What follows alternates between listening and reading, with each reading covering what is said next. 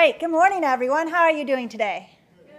Fabulous. I'd like to welcome all of you here in the theater and those of you on YouTube to the National Archives and our opening weekend for Remembering Vietnam.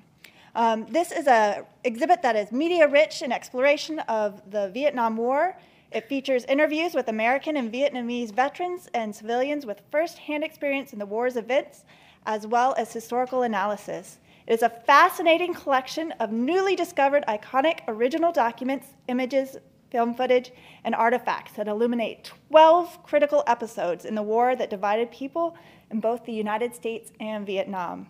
If you haven't already had the opportunity, I invite you to go and check that out upstairs in the O'Brien Gallery. Before we get started, I'd like to mention a few of our other upcoming programs. Um, to continue with our opening weekend celebration, today at 2 o'clock, we will have the film We Were Soldiers, introduced by Vietnam vet and journalist Joseph Galloway.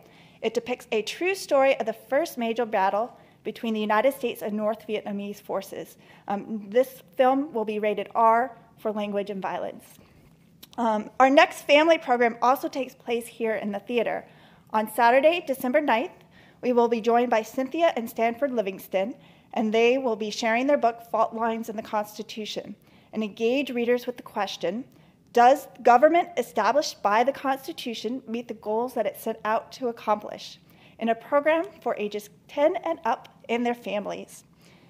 Enjoy hands on Constitution related activities before the 11 o'clock discussion and a book signing following the discussion.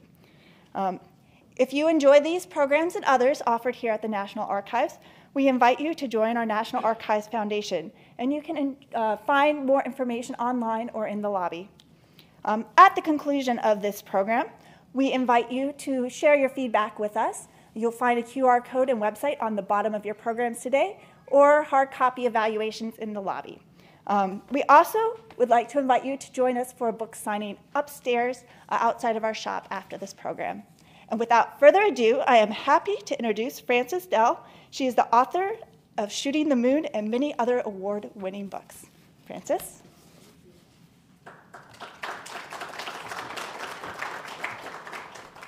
Hi, the lights are bright. Um, it's really an honor to be here today, and I want to say thank you for coming out. I wanted to start today by reading a little bit from Shooting the Moon, just the first chapter. It's a pretty short chapter, and I think it'll give you a flavor of the book. And then I'm going to talk some about how I came to write it and my own experience uh, being an Army brat, which I am. Okay. Shooting the Moon, by the way, um, it takes place in 1969, and the setting for this chapter is Fort Hood, Texas. The day after my brother left for Vietnam, me and Private Hollister played 37 hands of gin rummy, and I won 21. They were speedball games, the cards slapped down on the table fast and furious. My brother TJ was going to war, and I was fired up hotter than a volcano.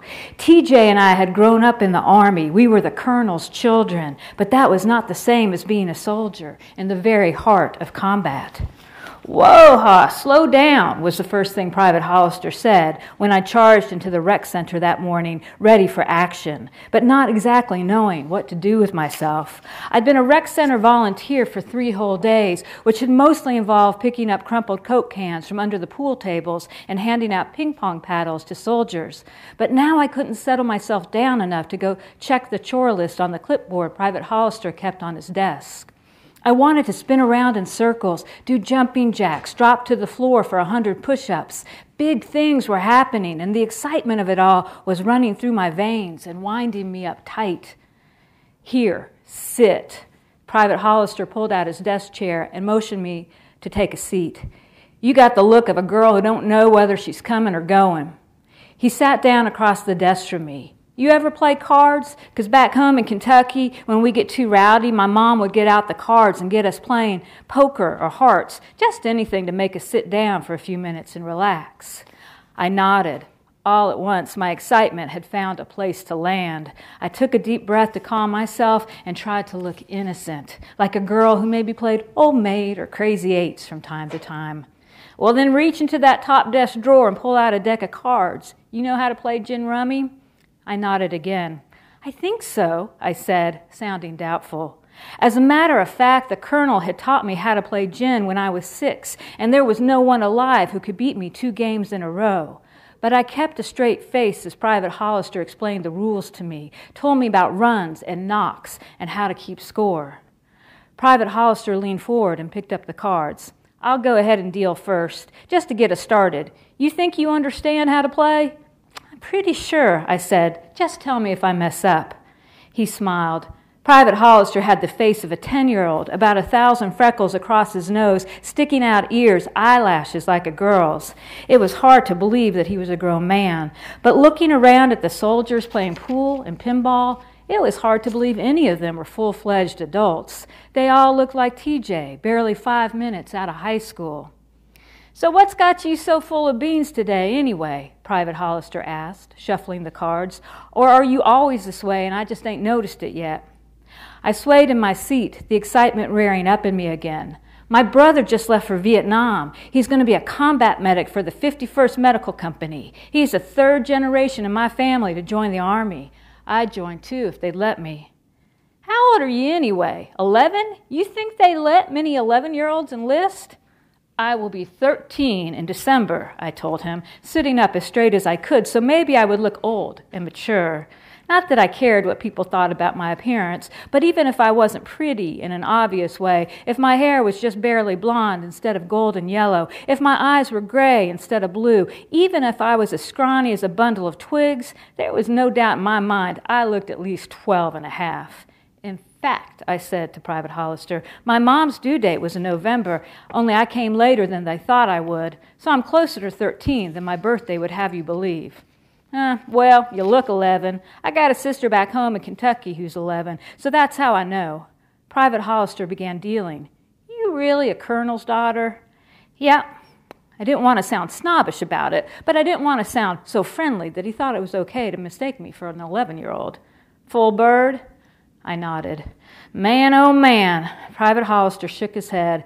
I better not mess up around you. I might find myself in country too. In what country? Vietnam. That's what they call it when you're there. They say you're in country. But me, I want to be way, way out of country, if you know what I mean. I shook my head in sheer disbelief. You're a soldier. You're supposed to fight. Private Hollister put down the deck, picked up his hand. Maybe, he said, but from what I've heard, I'd rather be here than there. No offense to your brother. Actually, he wasn't planning on going, I said, fanning out my cards to see what hand I'd been dealt. He was supposed to go to college, but then he changed his mind. You want me to start? Yeah, go ahead. Then Private Hollister cocked his head to one side and raised an eyebrow, like what I'd said just hit him. Your brother could have gone to college, but he went to NAM instead? I discarded, picked up a card from the top of the deck. I guess he got his priorities straight. Man, oh man, giving up college for a chance to dance with a bouncing Betty. One of them things falls at your feet, whammo, it blows up right in your face.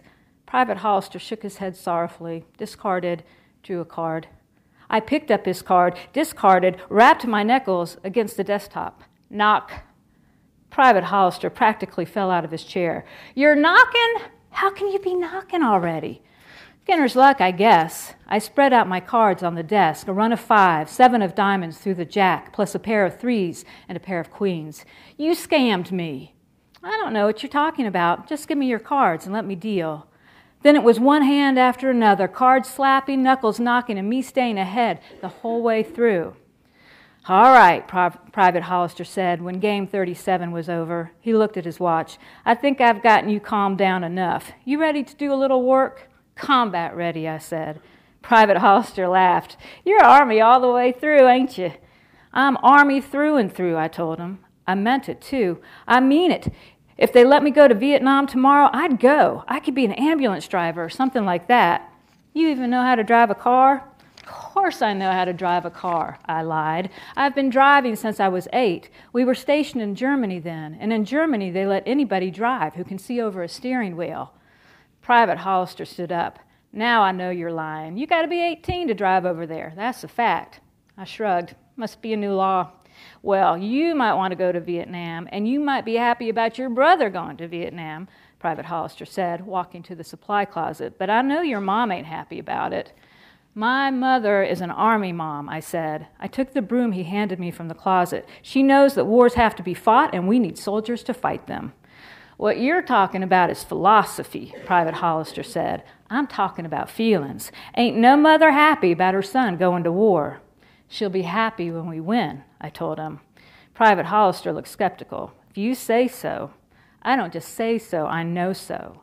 And I did know so. I knew it like I knew my name, Jamie Dexter. I knew it like I knew my birthday, December 10th. I knew it like I knew the flag 50 stars, 13 stripes, red, white, and blue, all in all, a piece of cloth worth going to war for. I was six months away from turning 13, and I thought I knew everything. So, when I started writing this book, well, even before I started writing this book, I had no idea what I would be writing about. In fact, it had never occurred to me to write about being an army brat. And it was my husband's suggestion. And to be honest, when he suggested it, my first thought was, who would want to read about that? It's so mundane, so run of the mill. Well, of course, it was to me because I'd grown up as an army brat. But the more I thought about it, I thought, well, it wouldn't be run of the mill or everyday to everyone else. Maybe this is a really interesting topic I could write about. The only thing is, I didn't have a story in mind. I had me, and I thought, okay, I could write about a 12 year old version of me. Um, but to write a book, to write a story, you need three things you need a main character, a protagonist, you need a situation, and you need a conflict that rises out of that situation. And my own life, while it had problems and, you know, conf- little conflicts, it didn't have any big drama to draw from. So I had this idea why not set this book during the Vietnam era? Because, of course, that was a source of conflict for a lot of families.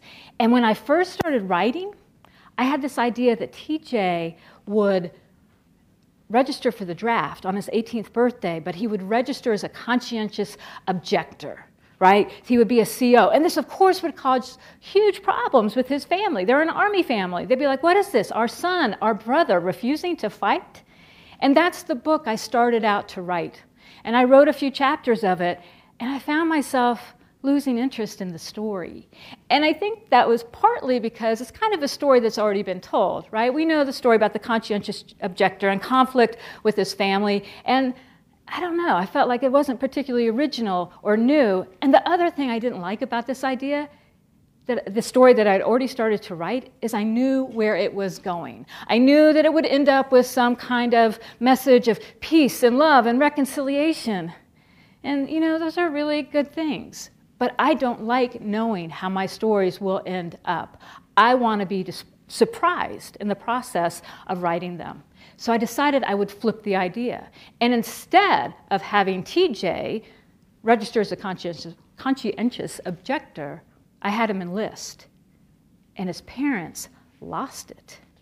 And Jamie couldn't understand why the colonel and her mother didn't want TJ to serve. And then I had a conflict, and then I had a story to write. Now, the great thing when I set out to write Shooting the Moon in this version is I did have so much of my own experience to, to bring to the story, and that was really a lot of fun. You know, I come from a particular subculture, that is the subculture of the Army brat.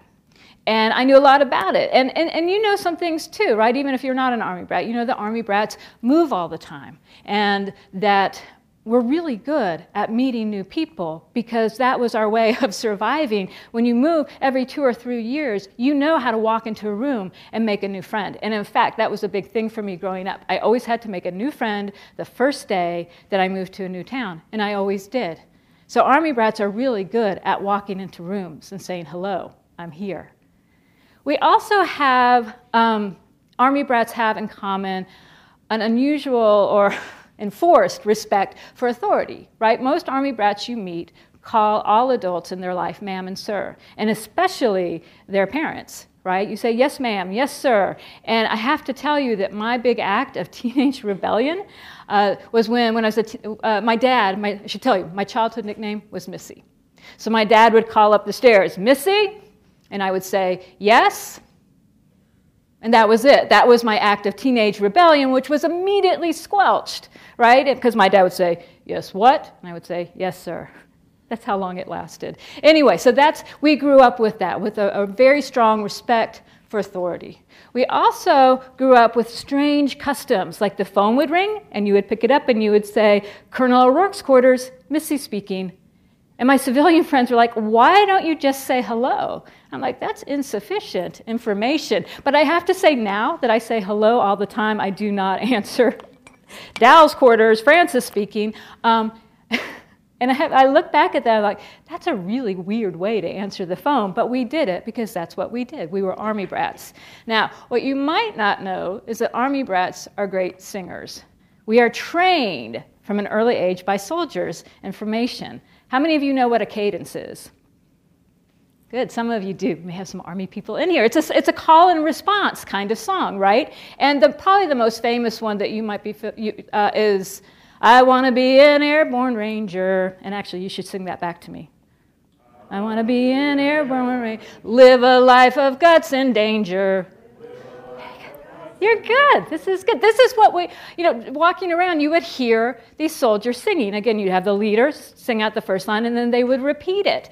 And the great thing when you're a kid is a lot of these songs are really rude. You know, they're not the songs that your mother would be happy to know you were walking around post or sitting on a bus on the way to a ball game singing. And that's, of course, one of the reasons we really love singing them. And in fact, one of my favorite cadences went, Sergeant, Sergeant, turn in green. Okay, and that's where we're stopping because this is being live streamed on YouTube and my mom is watching. So we can't finish it, but we can say that something really bad happened in the sergeant's canteen. And we went around singing about this a lot, and it was really fun. So being an army brat comes with all these interesting and kind of unusual customs and folkways. And I could bring those to the book. I could bring to the book that is set in Fort Hood, Texas, the fact that someone, some poet, thought to name a street Tank Destroyer Boulevard, which is my favorite street name ever. Tank Destroyer Boulevard. Yeah, take a left off to Tank Destroyer Boulevard. So I brought this all. I had all this knowledge to bring to my book. Now, Shooting the Moon is set in 1969. In 1969, I was five years old. I do have an older brother. At that time, he was eight. So we did not have the conflict that um, the Dexters have. Now, my brother didn't serve in Vietnam, but my father did. And I may have a picture. Like I said, it's a very basic. Let's see. Yeah, my father. This is my father in Saigon. My father's name is Del O'Roark. He is a retired brigadier general. He was in the JAG Corps, and he served in Vietnam from 1971 to 1972. So, in some ways, my immediate experience of him of Vietnam was my dad being away for a year. I was in second grade by this time. And you know, we, Vietnam was the first televised war, but honestly, we did not watch it on television. Um, my mother wouldn't let us. And so all I knew is that my dad was gone. And then a year later, he came back. And that was kind of it. I didn't know anything about the politics of the war or why, even why my dad went over. My first real experience of Vietnam and away came a couple years after the war ended. We uh, were living in Charlottesville, Virginia. That's where the Army JAG School is, the Army Law School. And my mom would come up here to Fort Belvoir to do her big monthly grocery shopping. And sometimes I would come with her because she would buy a lot of groceries. And I was in at this time like fourth grade, fifth grade. And you would turn the corner, you'd be walking down the aisle and you turn a corner, and suddenly you'd run into a soldier who was missing an arm or a leg. And I was a kid, and that scared me. It really did. I remember I would get this hollow out, hollowed out cold feeling in my stomach when I saw these soldiers. And I really started to dread going to the commissary. And I didn't realize then, but I realized later that I was seeing Vietnam vets who had come back from the war. And what I realized even later when I was doing research is that the number of amputees who came back from Vietnam, it was an increase of 300 percent from World War II. And now there are a couple of reasons for that. Is one, peop- one, one thing is because of helicopters, um, and you may have seen the helicopters out front. People survived, the soldiers survived wounds that they would not have survived in World War II because um, they were able to get medical care much more quickly. The other thing is the kind of warfare that it was. And Private Hollister, for instance, talks about bouncing Bettys. We talk about mines, right? So that you would sustain the kind of in- in- injuries that might lead to the loss of a limb. So that was my first real experience of Vietnam. when I started writing Shooting the Moon, I thought I knew a lot about two things. I thought I knew a lot about the Vietnam War. But if you had asked me before I started working on Shooting the Moon when it started, when Vietnam started, I would have told you 1967. I was sure that it had started in the late 60s, but I was wrong. Does anyone know what year we sent combat troops over? 65. 65. We had, we had troops and soldiers over earlier than that, even. Some would say that our involvement in Vietnam really started in the 50s, and some might say the Vietnam War is really rooted in actually the late 19th century. It's a really long history. But we sent our first combat troops over in 65. So it turned out I didn't know that much about the war at all. Um, I also thought I knew a lot about the Army. I'm an Army brat. I grew up in I grew up in that culture, but you know, I knew how to sing rude songs, but I didn't actually understand like chain of command. I didn't, there were a lot of things I needed help with. So I called my dad, Del O'Roark, and I said, Dad, Jamie needs to volunteer someone, somewhere on post where she's going to run into a lot of soldiers. Where could that be? And my dad said, The rec center. Like, oh, that makes perfect sense. And I could think of rec centers that I'd visited and spent time in, and particularly the one in Bad Kreuznach, Germany, and Rose Barracks, because when I was in eighth or ninth grade, I, we lived there, and I got interested in photography. And I learned how to develop film. Some of you young people here, you've heard of film, and that we used to put it in cameras. And I've gone to do school visits to talk about shooting the moon, and teachers, in preparation for my visit, will do these big presentations on photography in the 1960s where you had these little canisters that contained little film thingies. And, you, and there was this whole, and were like, wow, that's really cool. Um, so I had learned to do that, and a friend of mine had taught me in the rec center where there were dark room and there, a dark room and facilities to do that. And in fact, this changed the course of the book. Because when, at first I thought, well, that would be kind of a cool thing for Jamie to do to learn how to develop film, process film, and print photographs. And then I thought, what if, when TJ goes to war, what if he's the photographer? And he takes pictures and he sends the roll of film back to Jamie to develop.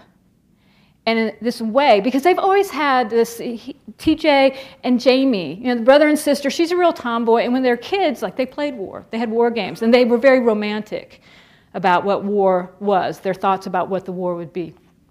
And so when, when TJ goes, he sends pictures back as a way to show, instead of tell, Jamie about his experience of the war. And the early pictures are very benign, you know, just GIs hanging out. Um, as the, sum, the, the book takes, uh, takes place over the course of the summer. As the summer goes on, he's sending pictures that are more difficult to look at. And so the early pictures, although the, oh, I'm sorry.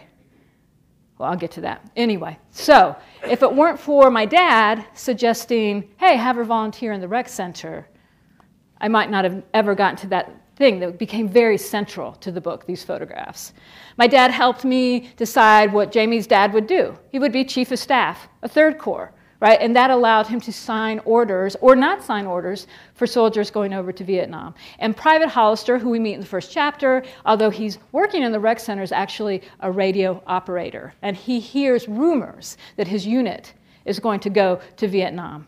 And he asked Jamie for help. And can her father help? And as a, as a matter of fact, whether he will or not, I won't tell you. But because he's chief of staff, he's the one who could to say, I won't sign off on this order. Got that information from my dad. So he was a very important part of writing the story, giving me plot points that really shaped what the story would become. I had other resources. I read a lot. Um, Tim O'Brien, who's widely regarded as the poet laureate of the Vietnam War, wrote both novels and nonfiction.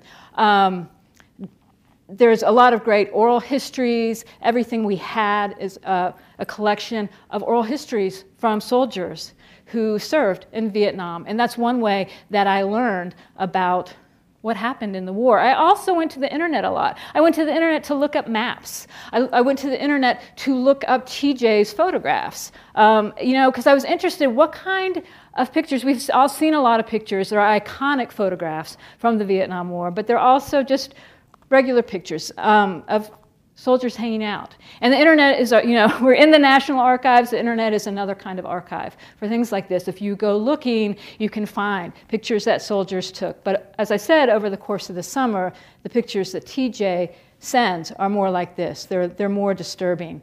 And um, so I was able to envision in my own mind the kind of pictures that he might be sending to, to Jamie over the course of that summer. So the internet was very useful. It was also helpful because online there are a lot of Vietnam War uh, vets forums where people go and they talk about their experiences of the war. And I learned a lot about what a soldier's life would be on a day to day basis and what people experienced over the course of their time that they served. Um, and I'm going to move just to, so we'll leave that. Um, that led me to one of my favorite parts of writing Shooting the Moon, which was the slang. When my dad came back from Vietnam, he started calling things number 10 and number 10,000, which we thought was weird. Also, he started listening to Creedence Clearwater Revival, which we thought was super weird because he left listening to folk music, like, you know, the Kingston Trio. He came back listening to Creedence. But he would, if something was bad, all of a sudden it was number 10. And if something was really bad, it was number 10,000. And that got me thinking. It's like, what other slang was there? And the internet was a great source of Vietnam War slang. And some of this is just general Army slang, but I'm going to read you just a couple pages to give you an idea. Working at the rec center, I was learning more about Vietnam all the time. It was in the air you breathed if you were spending your days around GIs, some of whom had already done their tour, some of whom were gearing up to go, and a whole bunch who had their fingers crossed the war would be over before their units got called up. Sergeant Byrd gave me daily vocabulary lessons. Sometimes it was like he was still in country. And there were days I thought maybe he wanted to go back. And Sergeant Byrd, by the way, is the, the soldier who teaches her how to develop film. Every once in a while, he made me feel scared the way his face got dark and cloudy over something he saw in one of TJ's pictures. There wasn't ever a time when he didn't want to talk, though. He was a big talker, someone who liked words for words' sake, the sound of them, the way you can pile them up in your mouth and make a poem if you spill them out the right way. If you recall, you call that a cracker box, he said, pointing to a picture of an ambulance I'd printed from TJ's fourth roll of film. The bac si rides in the cracker box. Bac si is what you call medic, it's a Vietnamese word, or they go, into tra- they go in the traveling medicine show, which is what you call the medevac helicopter. How come they do that? I asked. I mean, how come they make up words for everything that already has its own word? I don't know. Maybe it makes it less real, more like a cartoon, something that's not happening directly to you. Or else it's just fun to do. The human animal is an endless creative creature in my experience. So I learned chop chop was food, and a daily daily was the anti malaria pill GIs had to take. Medics were called docs and band aids and bac si, and infantrymen were called grunts. An army helmet was a steel pot, and camouflage uniforms were nicknamed tiger suits. If you were KIA, you'd been killed in action, and if you were KBA, you'd been killed by artillery. A glad bag was a body bag. Expectants were wounded soldiers who were expected to die. What'd they call you? I asked Sergeant Byrd when the vocabulary lesson got too filled with body bags and wounded soldiers for my comfort. He grinned. I was a first cav grunt and a cheap Charlie because I never spent any money in the bars. Other than that, mostly I got called Ted, which is my name, and a few other names too improper to repeat. Oh, and Kodak. I got called Kodak. He held up his camera bag for the obvious reasons. That, I have to say, was the, some of the funnest part of my research, was learning everything was called by another name when you were in Vietnam. The funny thing, rereading Shooting the Moon, the funny thing for me was to realize how filled it was with soldiers and how filled my life was when I was a kid with soldiers, when we lived on post. You didn't think anything about it. You'd go in the PX or the commissary Stars and Stripes bookstore, walk around post. There were always soldiers around.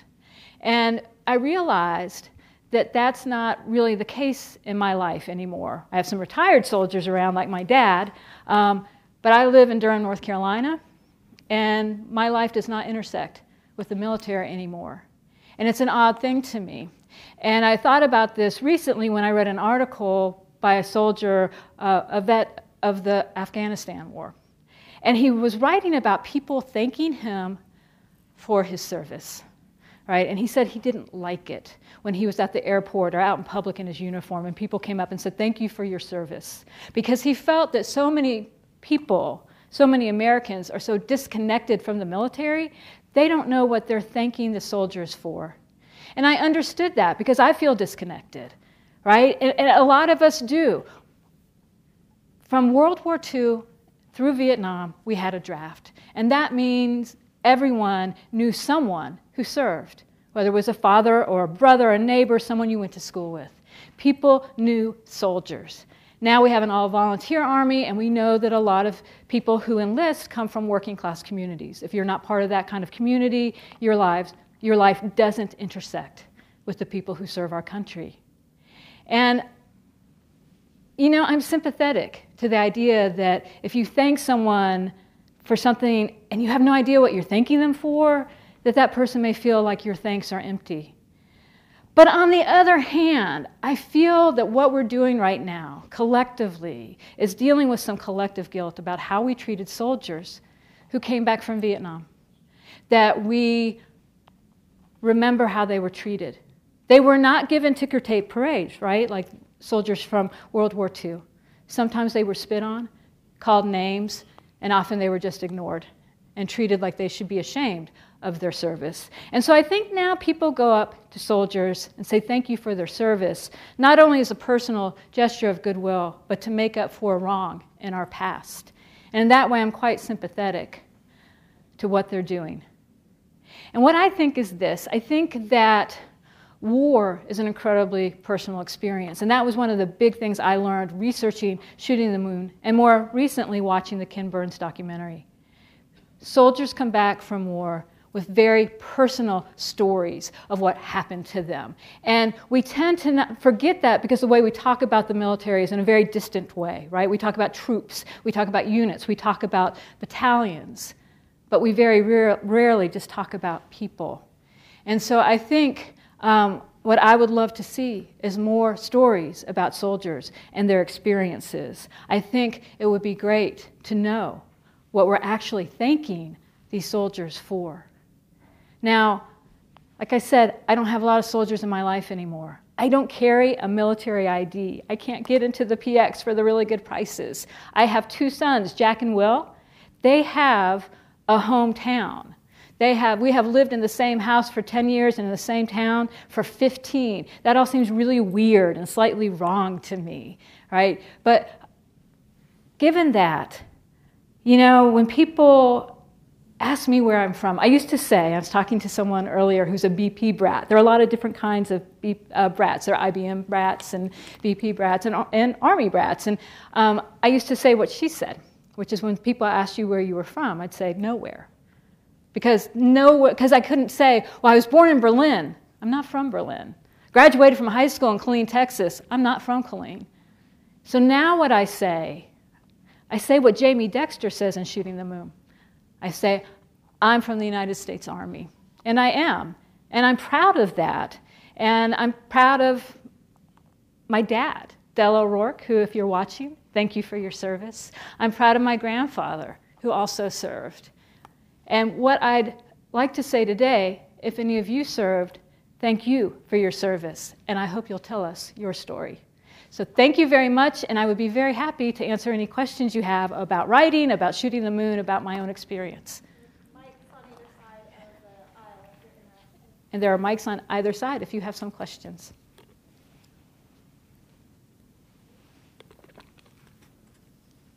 Or you could just raise your hand. No questions? Okay, well, I'll be doing a book signing, and I would be glad to talk to anyone there. Thank you so much for coming out. I really appreciate it.